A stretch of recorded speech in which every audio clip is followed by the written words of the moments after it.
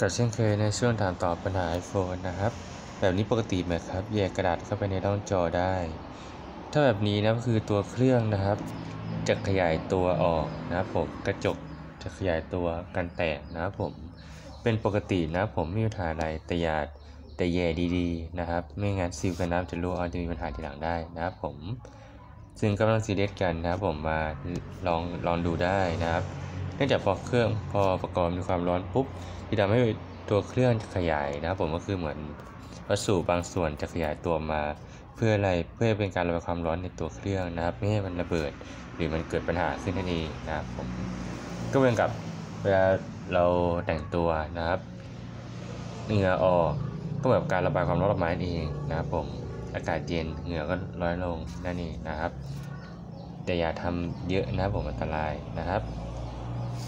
สำหรับวันนี้ในช่วงถามตอบปัญหาไอโฟนทุนจบเพียงเท่านี้นะครับ ขอบคุณสำหรับติดตามและการชมด้วยครับสวัสดีครับ